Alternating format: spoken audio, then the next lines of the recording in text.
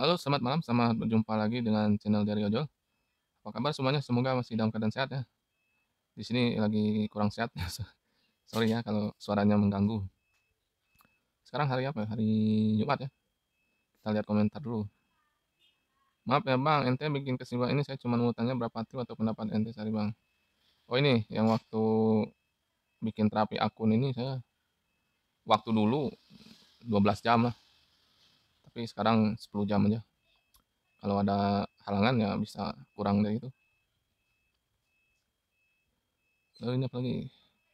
Dua minggu jadi mitra belum pernah sekalipun main food. Enaknya nongkrong di area resto. Bang biar cepet dapat. Ya betul. Tambah modal kredit gedein. Kalau yang belum punya histori nyalain semua layanan. Modal yang di tangan bang bukan yang dompet kredit maksudnya nambah saya biasa main sende instan pantat paling baru berapa kali apa nih saya nggak ngerti ini. Bisa diperjelas lagi kali? Nggak ngerti pertanyaannya. Nggak ada ngadain vaksin lagi ya? Tinggal datang aja ke puskesmas terdekat bilang aja mau vaksin. Daftar grab motor setahun berapa bang? Biasanya lima tahun atau empat tahun ya lupa saya. YouTube Nonem suka kecil. Alhamdulillah makasih ya. Ini ada tiga nih. Akun level gue di rumah bisa aktif tapi di keluar nggak bisa aktif. Kenapa ya? Bingung saya juga maksudnya nggak dapat orderan atau nggak bisa aktif? Kalau di rumah bisa aktif masa di luar nggak aktif?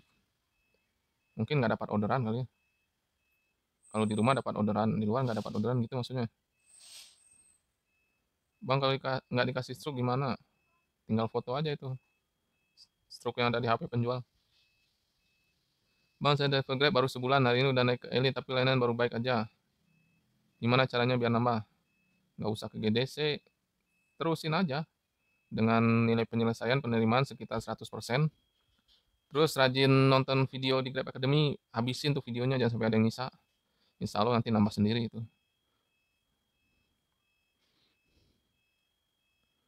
Maksudnya, Maksudnya apa? Saya juga bingung nih. Siap bang, terima kasih infonya ya, sama-sama. Nah, ini ada lima. Komen pertama bang, edit videonya pakai aplikasi apa? Ini aplikasi apa ya? Udah saya jawab di sana ya di komentarnya Yukat aplikasinya. Suaranya kayak Temon, lagi lagi kurang ini kurang sehat.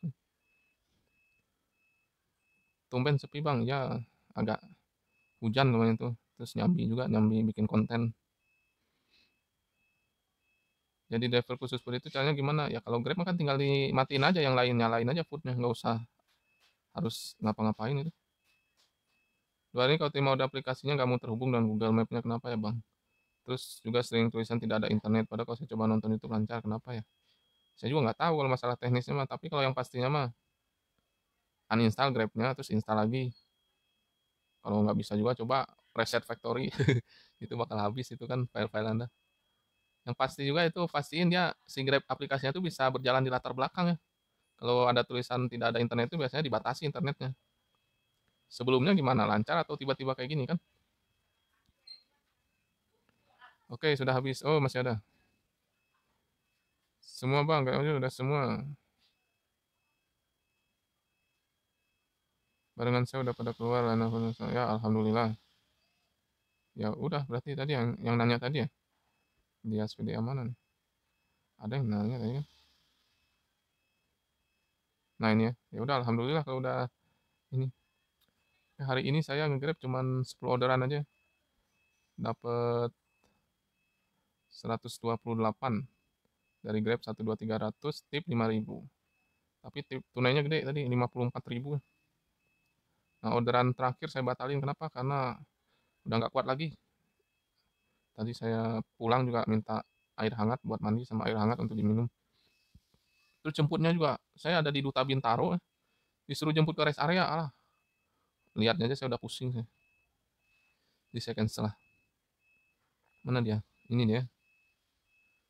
Eh, salah satu kuncinya nya dapat tip itu ya itu modal kredit digedein. Jadi saya modal kredit digedein itu bukan supaya dapat orderan supaya dapat tip ini ya tip tunainya 54.000 total pendapatan 182 belum beli bensin yang kemarin masih ada total sampai hari ini 2 jutaan yang kotor bersihnya 18 nah ini yang pertama ini menurut saya kalau mau dapat tip itu ya pertama modal kredit harus gede biar dapat tunai gitu ya.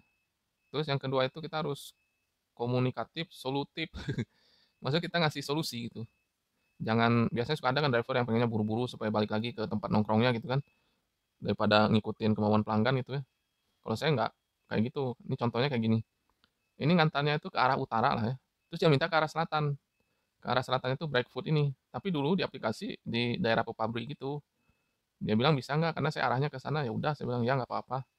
Terus saya duluan yang nyampe dong. Jadi saya WA, eh, saya chat. Saya udah sampai. Ya pak maaf di sini macet. Ya udah pak nggak apa-apa. Jadi dia kan merasa merasa sudah nyusahin orang. Ini kan biasanya suka gitu. Biasanya kalau dia merasa nyusahin orang, ya biasanya orang suka ngasih gitu. Nah, terus yang selanjutnya ini lagi ya. Nah, ini saya dapat orderan 500.000 McD. Jadi awalnya itu dia cuman beli satu kantong. Jadi si McD-nya juga nggak mau tahu dia, saya paling benci kali itu. Jadi saya tanya, "Ini jadi saya gimana bawanya ini Bang kalau kayak gini?" kata saya. "Oh, ya nanti saya diskusi dulu sama bos saya." Bisa pengen dan maki-maki rasanya. Jadi akhirnya disuruhnya saya pakai kardus. Pakai kardus gimana? Tas saya tali saya nggak punya juga ya udah terpaksa beli aja lah beli beli tas satu lagi nah ini saya tas ini punya satu cadangan jadi customer satu belinya di aplikasi jadi saya chatnya pak maaf ini orang meetingnya nggak mau tahu dia jadi saya beli tas satu lagi yang ini ya supaya muat gitu. Oh ya nggak apa-apa gitu kan. Terus ya e, minta tolong dicekin. Ya gimana mau ngecekin? Coba ke sini. Udah dibungkus-bungkus gini. Saya bilang juga pak maaf kalau kami udah nerima dibungkus jadi nggak bisa dicek. Tapi saya bisa tawarkan untuk bapak cek di rumah nanti kalau nggak ada yang beres saya balik lagi lah biar tahu tuh. Jadi oh nggak usah deh mas nggak apa-apa. Tolong bilangin aja. Jadi gitu apa kita tuh harus gimana ya? Ngomongnya harus baik-baik lah. Apa pun dia requestnya gitu kita harus secara baik-baik juga bila perlu merasa dia apa merasa dia susah gitu atau merasa dia untuk ya seperti itu yang seperti saya bilang di awal tadi jadi saya fotoin lah ini bahwa barangnya ini seperti ini pak jadi perlu tas ini itu akhirnya dikasih belanjanya berapa? Sekitar 500 ribu tapi kan 475 apa 470 ya? 465. Dia nambahin tas satu kan jadi 470. Uangnya pas 500 ya, ambil aja tuh Bapak. Oke Pak, makasih.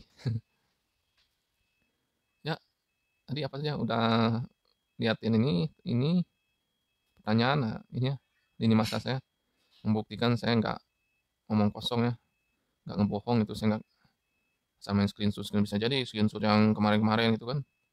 Kalau ini masa Google mana bisa dibohongin? Ini udah 73 km ya. Nah ini ya sekitar alam sutra. Nah tadi ini ke sini nih klaster Jimbaran ini. Terus saya harus ke sini mana ya nah ini nih klaster Jimbaran ini saya harus ke sini tadi saya nggak ingat apa ke sini apa ke sini nggak ingat saya ya itu otomatis kan harus ke sini ya Srot. Srot. Udah gitu di sini kita harus masuk lagi jalan lah. Itu juga ngabisin waktu tuh. Entah 5 menit, entah 10 menit. Jalannya jauh tuh. Jangan salah. Itu nggak mungkin itu. Setengah jam lebih pasti cuma untuk datang ke restoran. Pelanggan juga bisa marah kalau selama itu. Kalau misalnya ini kan tambah lagi kondisi nggak fit. Ya udahlah terpaksa dibatalin. Yang penting kita utamakan aja kesehatan ya. Oke, sudah selesai ya. Jangan lama-lama. Terima kasih sudah nonton konten Diari Ojol. Jangan lupa di subscribe, di share, di like, di komen. Ini lagi di Living Wood ya. Udah rame. Oke, sampai jumpa di konten saya selanjutnya.